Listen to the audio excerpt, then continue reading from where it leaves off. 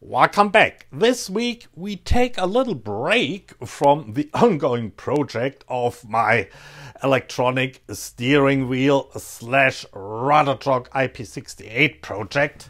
Uh, card here, link in the description, and instead do a little maintenance on my Proxxon PD250 slash E lathe, namely on the tailstock. Enjoy! There are actually two reasons I think the tailstock needs some maintenance.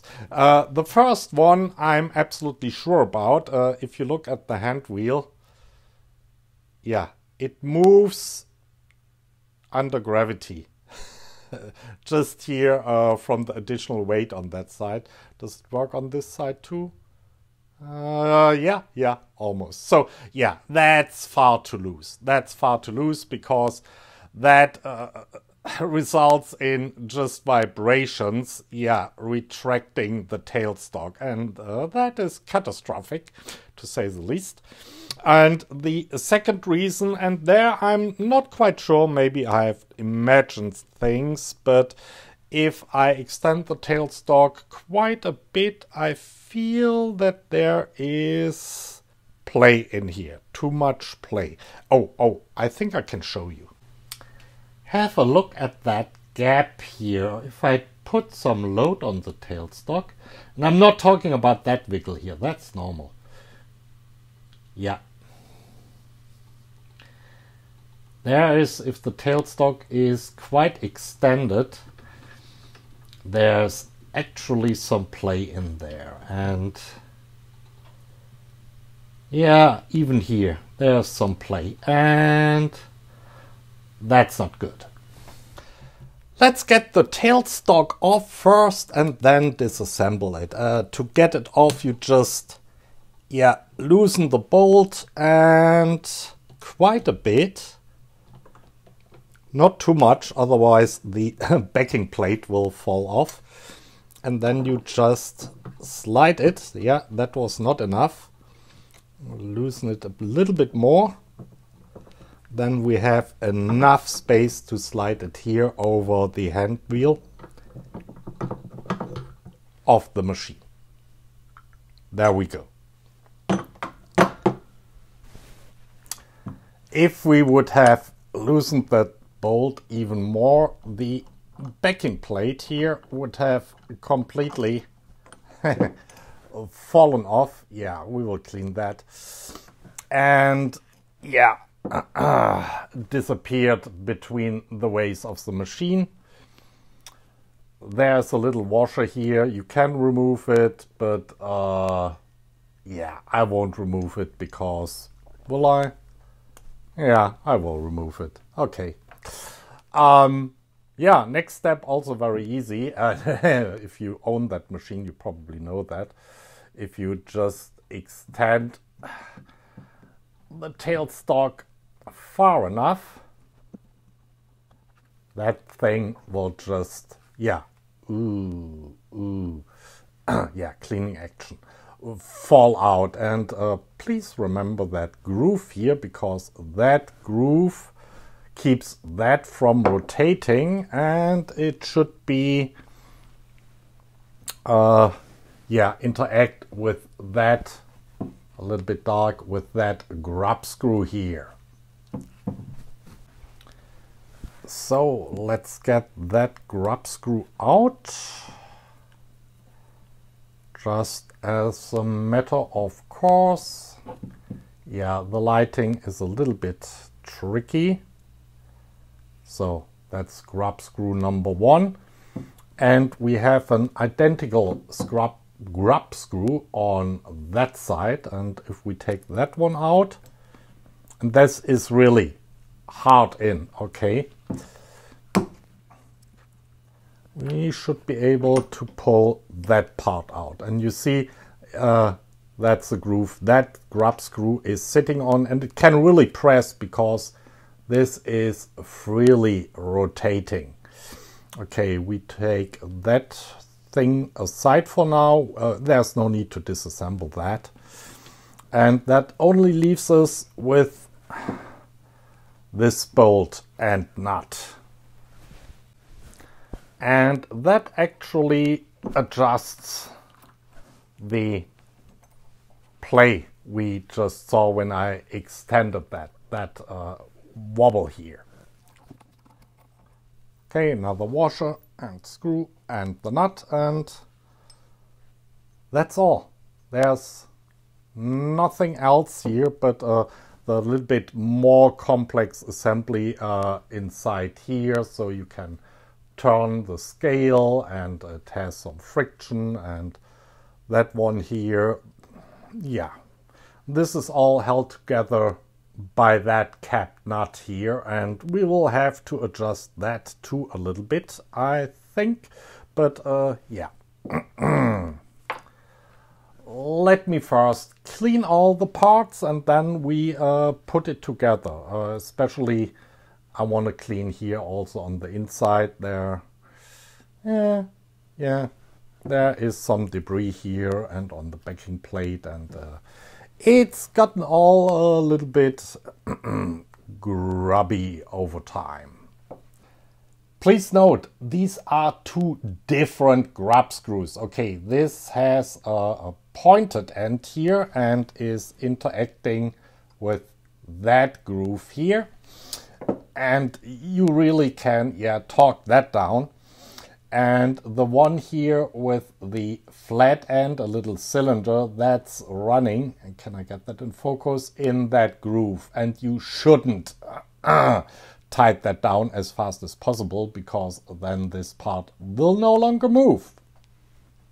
So let's clean that stuff real quick and I'm using just a denatured alcohol. And as long as my thingy here is new and clean. I'm first cleaning out the Morse taper.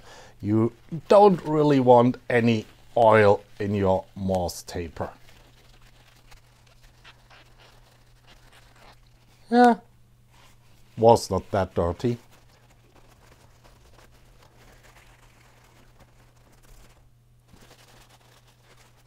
The rest yeah, the threads look all good. No problem here. That feels a little bit dry. A little bit oil on the actual threads would be nice. So all in all, yeah, there's a little bit in here.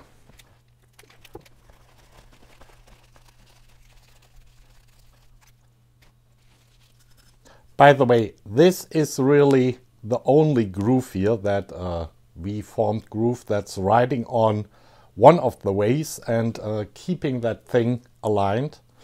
Uh, this is just your sliding on the other way. And here's our backing plate, which has uh, a wee bit debris on it. This is not really a precision part. It's just, yeah, pulling that thing down onto the ways. I'm not sure if that has a top side and a, top and a bottom. There's a little bit of pitting here too. Hmm. And that's it. To reassemble the whole thing, we first put on the backing plate again. And yeah, that was the slightly bent washer. And that bolt here, just if you get confused, that bolt here is longer than the other bolt, okay, significantly longer. So it also has a shoulder here. So you should be able to distinguish the two. There's really no wrong way, I hope, to put on the backing plate. I just make that hand tight here, if I can. And if the backing plate is back on, we just slide it uh, onto the ways again. And yeah, I did clean the ways too. Now the right way. Yeah, here's the V groove. Here is the pyramid shaped way. Okay, tighten that a little bit too much. No problem. We just loosen it a little bit more. It slides on and then I torque it down. That will make a, having it here on the lathe will make the assembly of the rest uh, much easier. Okay, now we just insert the wheel and yeah, this is a funny angle here and insert the grub screw with a tip that will hold the whole thing. You remember that groove inside here. And you can really torque that thing down, okay? This is really just to hold it in place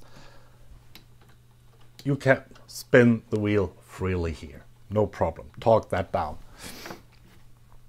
Uh, then we just slightly insert the other grub screw with a cylinder formed end.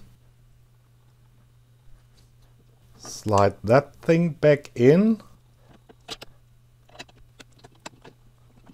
And if that is able to turn, we are not deep enough with that grub screw.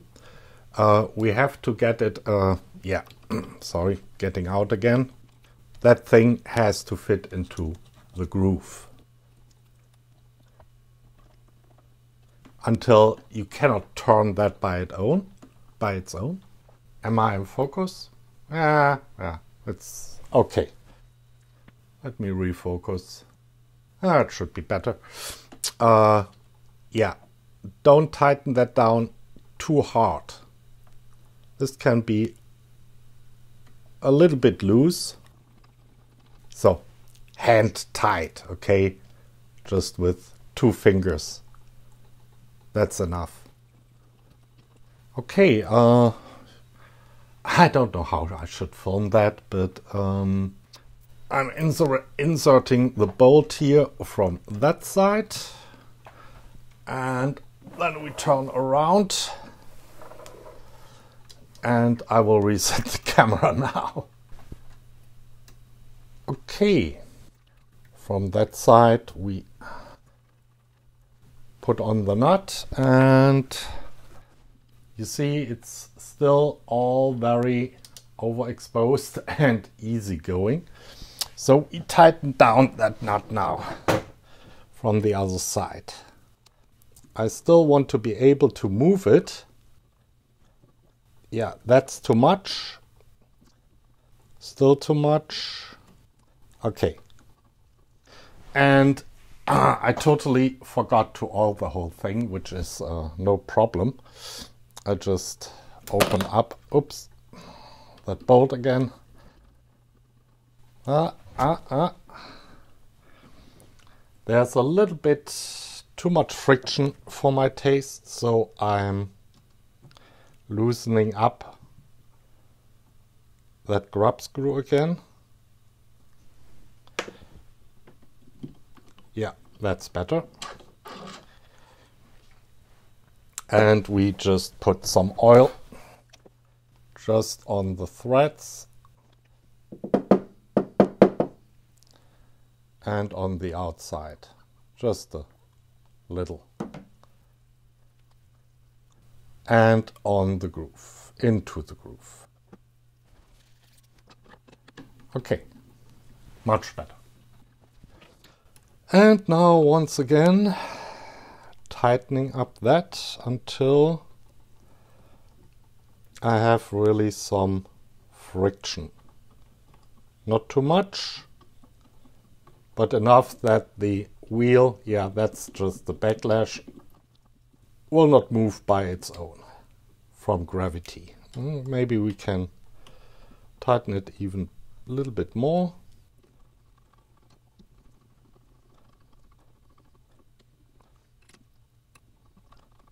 Yeah, that feels about right. Okay, and now a close up if that thing here is still moving when I'm pressing on it. So I'm almost fully extended and